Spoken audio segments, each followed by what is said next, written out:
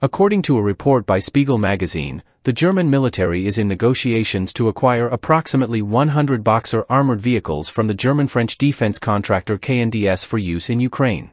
This report, which did not disclose its sources, comes shortly after Germany ordered 105 Leopard 2A8 tanks from KNDS for a total of 2.9 billion euros, a transaction confirmed by the Defense Ministry on July 10, 2024. A spokesperson from KNDS stated that no contract has been signed yet and declined to comment further. However, the Defense Ministry mentioned that it has issued a request for proposals to KNDS for the Boxer and RCH 155 models, without providing further details on the potential deal. The initial batch of this potential order, including 80-wheeled RCH 155 self-propelled howitzers, could amount to over 2 billion euros, approximately $2.2 billion.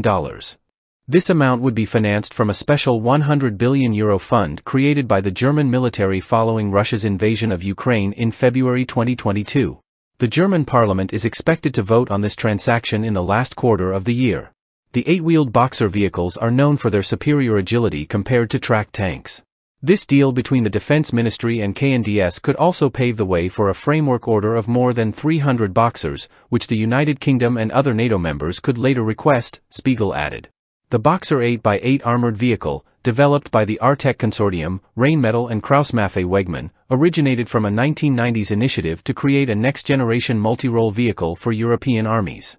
Introduced in the 2010s, it features a standardized drive module and various mission-specific modules that can be swapped out quickly. This design accommodates roles such as infantry transport, medical evacuation, command and control, and combat engineering. Notable features include high mobility, comprehensive protection systems, and advanced capabilities such as 360-degree threat detection and NBC protection. The modular approach allows for rapid reconfiguration and minimizes downtime, enhancing operational flexibility and reducing logistical demands.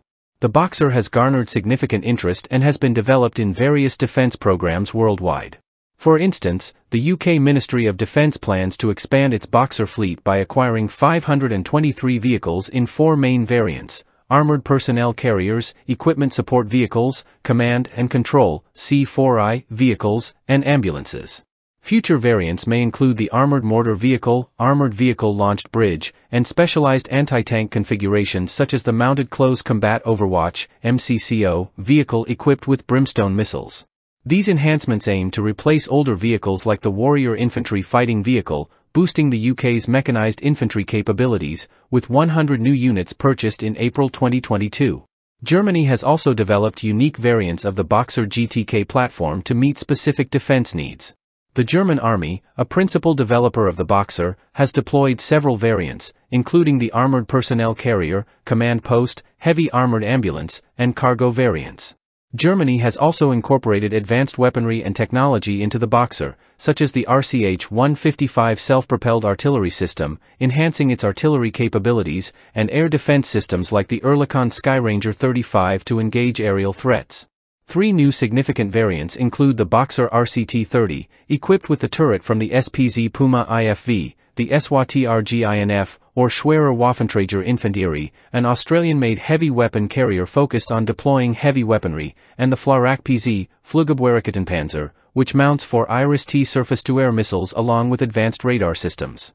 This flexibility and modularity have established the Boxer as a key component of Germany's mechanized infantry units, providing support in various operational roles.